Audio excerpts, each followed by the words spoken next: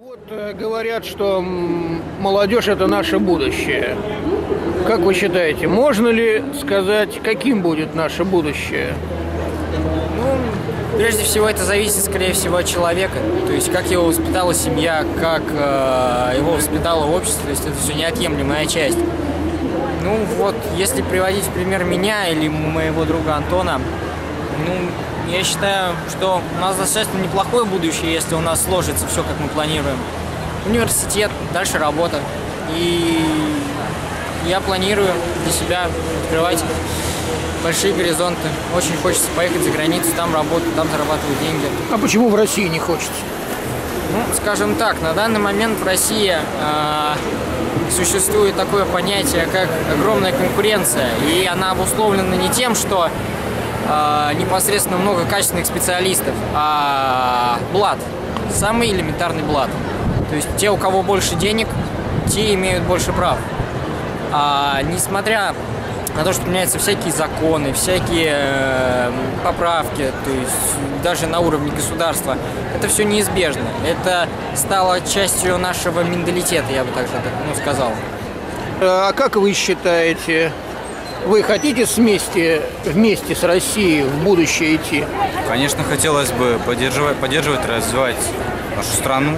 Хотелось бы, чтобы я был полезен, чтобы какие-то мои знания, мой опыт, мои умения пригодились для моей страны, но а, иногда получается так, что моя страна не всегда меня поддерживает, не дает иногда каких-то путей развития, каких-то дополнительных возможностей, которые хотелось бы получить.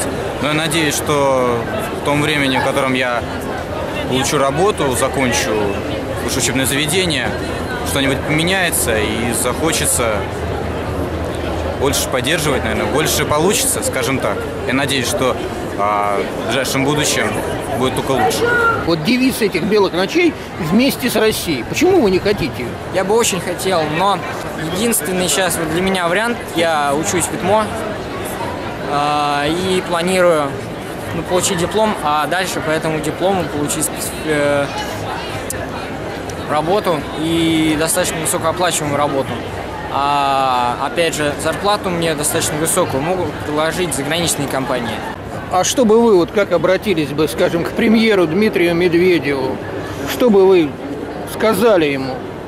Ну, сложный вопрос. Очень много различных наболевших тем в обществе. Но все же опять хотелось бы сказать, чтобы э, больше уделяли времени молодежи, чтобы образование, которое вот опять же Э, оно у нас делится на платное и бесплатное.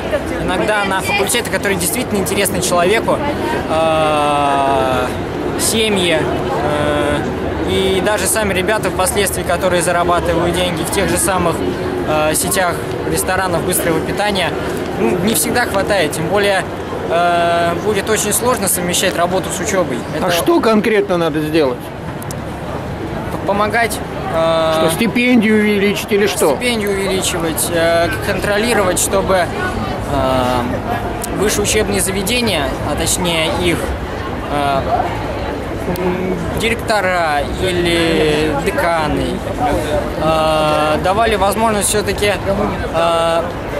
выбирать людям именно ту профессию, и чтобы она была интересной человеку, чтобы она, самое главное, была доступна. Потому что на данный момент различные кафедры, вот, например, на которой я учусь, это кафедра программирования, там достаточно дорогое обучение, то есть 40 тысяч в месяц и, ой, 40 тысяч в полгода, и это достаточно большие деньги. Что бы вы хотели сказать президенту? Наверное, мне хотелось все-таки сказать, чтобы поддерживали больше молодежь, чтобы... В чем? Как?